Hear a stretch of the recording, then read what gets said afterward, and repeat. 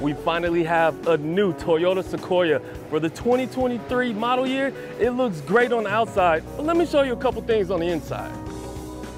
So if you upgrade to the capstone model, you get acoustic glass on your windshield and on your front side windows. That keeps out all the noise.